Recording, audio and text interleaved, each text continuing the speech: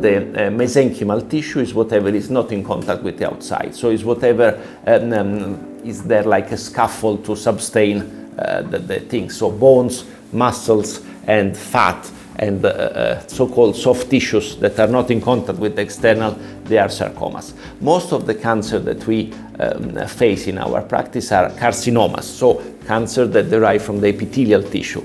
And this is not because there is more epithelial tissue, it is because epithelial tissue is always growing. So the process of growing is already uh, quite easy for epithelia. That's why they easily become cancer, carcinoma. Instead, mesenchymal tissue typically does not grow so much. Uh, now uh, uh I am uh, uh, 46, my muscle will not grow. If I exercise a lot, they become bigger, but only because they are swollen.